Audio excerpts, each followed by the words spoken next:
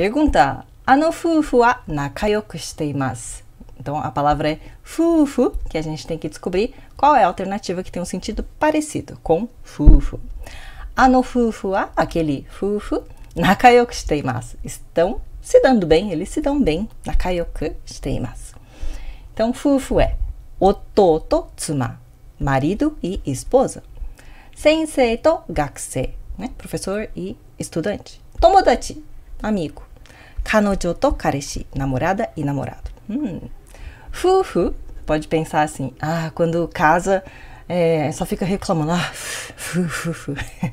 então é oto to tsuma, marido e esposa. Então, é um casal, porém é um casal que já é casado, não é simplesmente namorado e namorada, ok? Fufu é casados, casal, casal.